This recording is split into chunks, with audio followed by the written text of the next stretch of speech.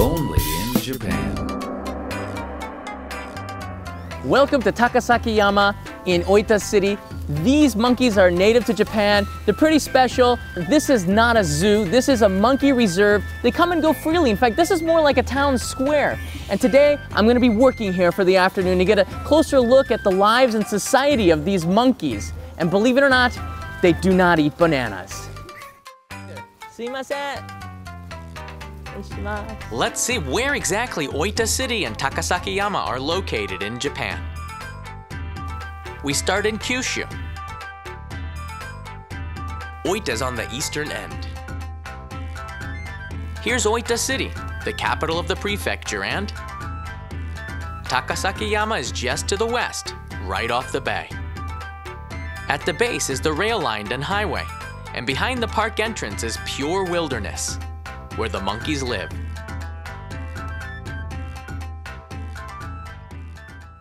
Eight a.m. It's time for me to start my job at Takasakiyama Monkey Park. You can walk a few minutes up the steps or commute there by monorail. This definitely is not the Shinkansen, but it's a smooth ride to the office. All staff members must wear Takasakiyama Park uniforms. We're ready for the first task of the morning calling the monkeys down from the mountain for breakfast and a head count. visitors aren't allowed up the mountain, but since we're on the job, you're invited to join us.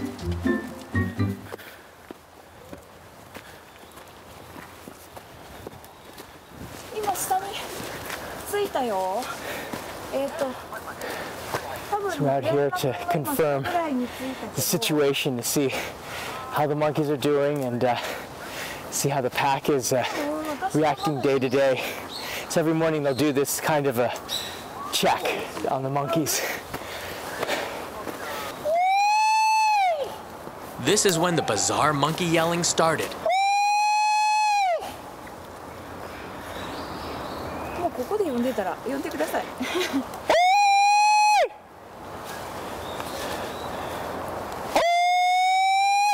Other staff members were higher up the mountain yelling and reporting on the population's movements. Chikai? 近い近い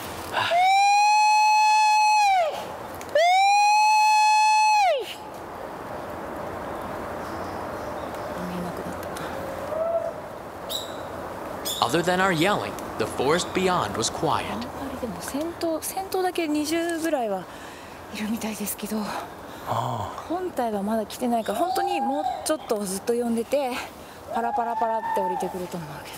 そうそのこその音を出して猿は何何何の返事するの？なんプワーって鳴きますよね。そう。高い声に昔から反応する。はいでそれがずーっと移動してるところをもうこっちに降りてきてもらうっていうことをやるのでそうか猿は毎日山に帰るですね山に帰るもう山で暮らしてるから Monkeys feel more secure at night up on the mountain in the trees and come down together every day. We got live reports by radio saying they were coming down slowly. 本体はやっぱその辺だろうってことなのであその辺だねで先頭がこっちこっちのちょっとこっち側に寄せてこっち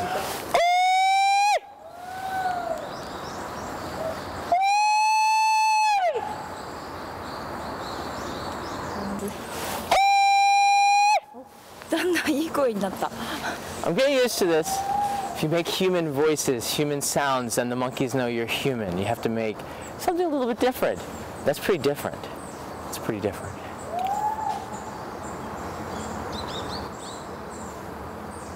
I wondered if it could be my presence that kept them away, but then あ、ここにいるよ。あ出てきた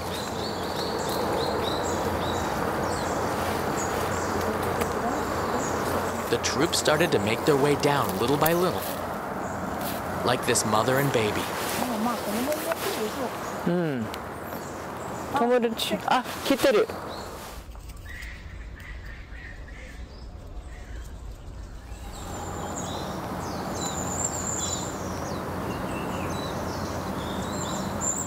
Nothing. But they're out there. It's pretty cool. We've got four or five of them now coming out of the jungle. Six, seven, eight, nine. There's ten now monkeys that have come out of the forest to come and greet us. This is morning at Takasaki Yama. it's pretty cool, huh? どうぞ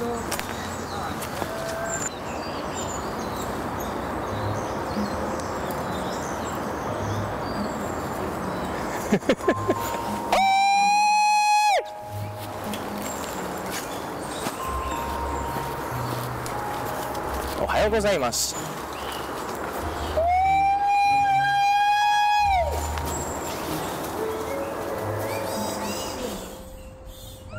One of the bosses came out to let everyone know it was clear of danger. Not all monkeys commute by ground. Some take to the trees.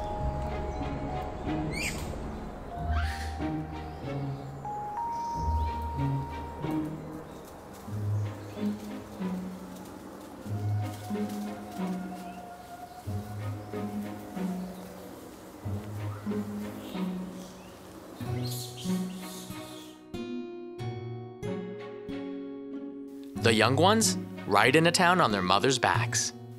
It's a lot more fun that way. This is an important part of the job, keeping the monkeys together so they don't go to surrounding farms. They're used to coming down to town for breakfast now, which keeps farmers happy.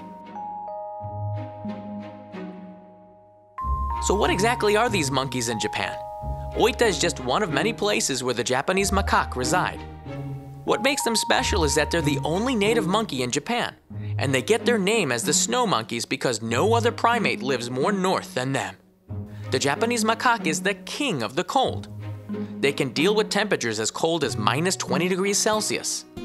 Their average lifespan is about 6 years in the wild and around 28 to 30 in captivity. Monkey is saru in Japanese. The Nihon Zaru is part of Japanese folklore and respected, except maybe by the farmers, which is why the park exists. It opened in 1952 after World War II when food supplies for humans were low. And it kept the monkeys and humans in harmony. With about 1,200 monkeys here, Takasaki Yama's monkey troops are some of the biggest in the world.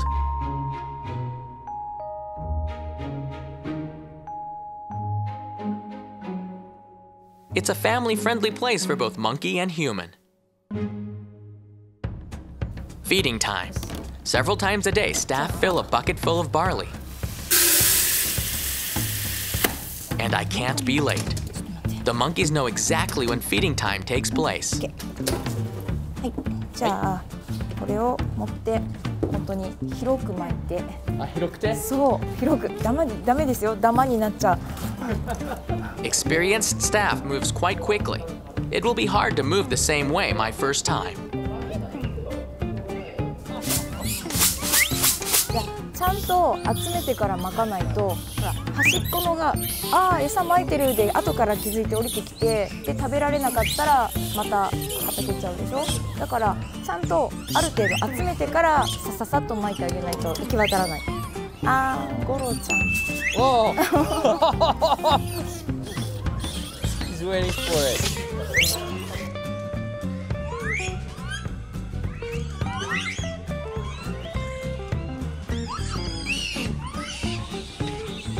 Hear the monkeys speaking.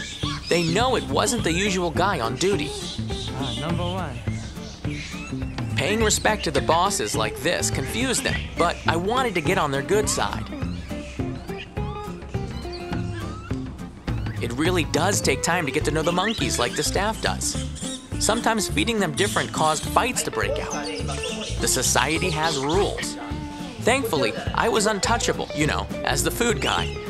But they are sneaky sometimes.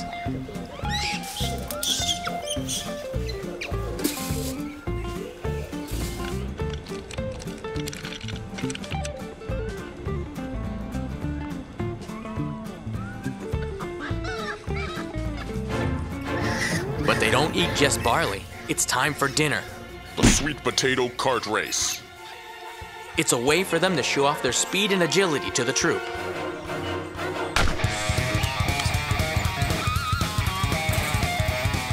Gets pretty crazy out there, like a mosh pit. I'll show you from three angles.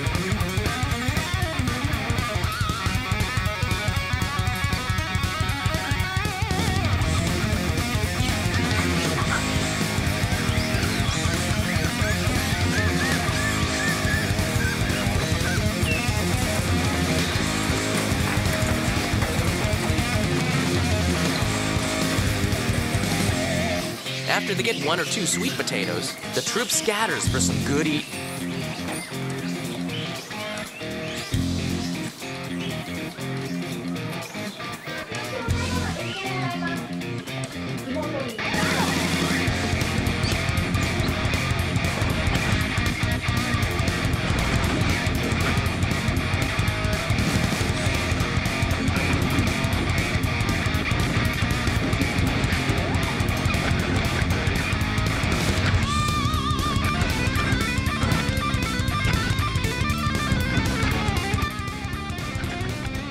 After you get your sweet potato, you sneak off fast.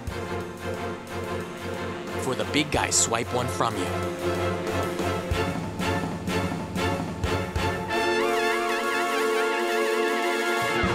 The monkey park is set up with urban services like a city.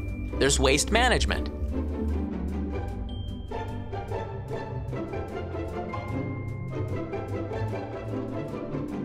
One of our duties is to protect and serve the public. Make sure humans and monkeys get along. Society has rules. The park gives visitors a chance to see the Nihonzaru Society in the wild, roaming free.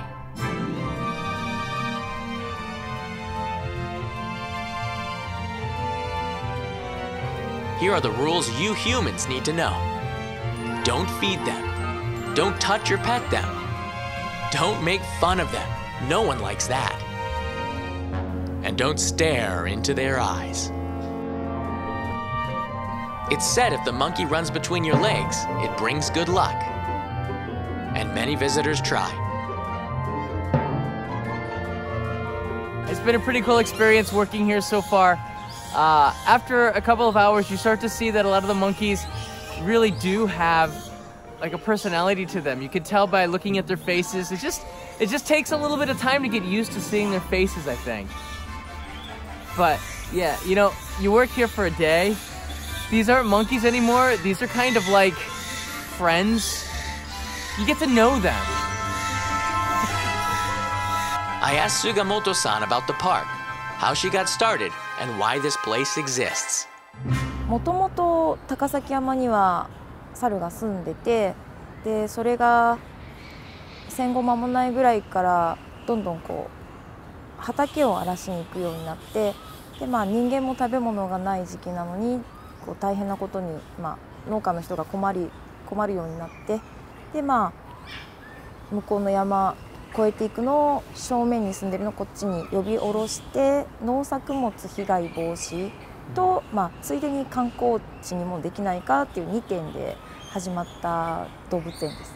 でこの前は猿が畑に行かないようにあの群れが、まあ、山の外に出そうになったらこっちに追い込む係にいました。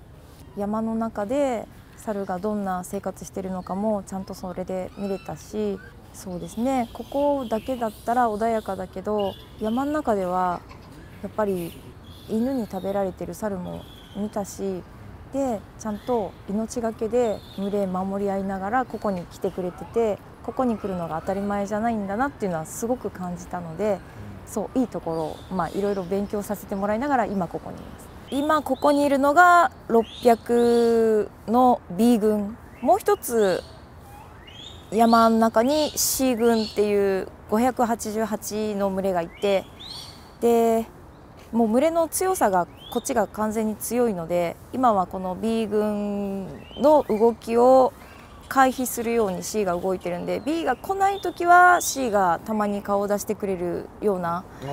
そう。喧嘩してる？うんともう最近は B が来たら C が怖くてそのまま逃げてたんですけど、まあ、去年あ今年か。今年の3月に1回大きな喧嘩が久しぶりにあって C 軍600匹がここ午前中いてで B 軍が12時の時点からゆっくりこうさっきみたいに山下ってき始めてだからメスザルがあの岩の裏でこう餌食べてたから B が来たのに気がつかなくてまだこうモコモコモコモコ食べてたんです。だからね B の先頭に来たオスがガブってこう噛んだんです。俺たち来たんだから帰れって。言ってだから捕まってしまうと結構群れと群れの喧嘩は激しく怪我するんですね。であまずいなと思ったらあのギャーって言いながら逃げてあよかった逃げたって思ったらそのメスが仲間のとこにギャーってこう逃げ帰ったらいつもは B が来たら C 引き上げていっちゃうのに仲間噛まれたらバンって出てきてすごい。でその時は B 軍がたった戦闘グループの200匹しか出てなくって。でまあ先頭にはナンバー3の五右衛門と4番のラルフとまああまり偉くないオスの3頭ぐらいしかまだオスが入ってなくてそれがガガッって出てきたけどやっぱり C の方が仲間噛まれたから勢いがついてていや久しぶりに C が勝つのかなっていうぐらいな勢いだった時に B のナンバーワンがガガガガって突っ込んできて一気に C の中心部にって突っ込んだらギャーって引いちゃってやっぱね B のナンバーワンは年取ってますけどすごい。そう全然違う。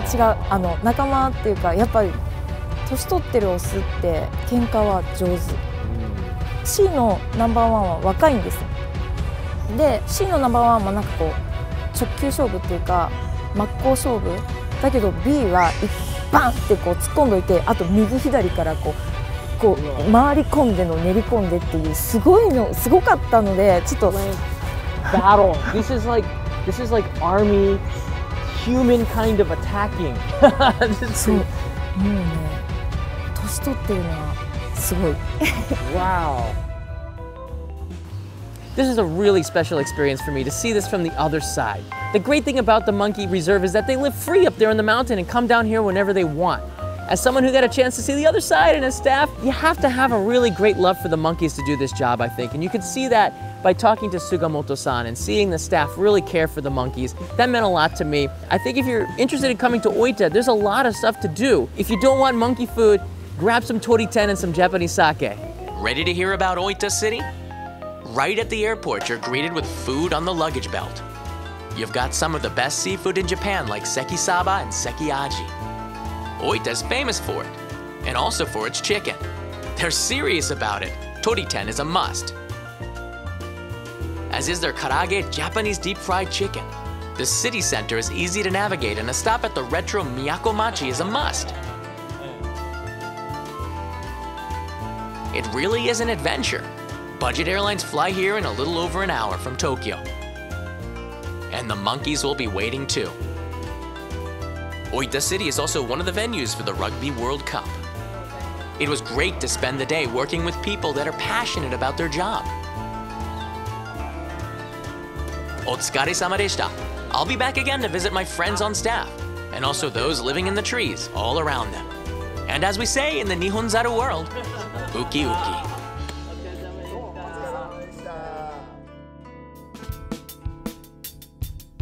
If you liked it, hit that subscribe button and check out another one of our shows. Don't miss my second live streaming channel, Only in Japan Go. And check out location photos on Instagram.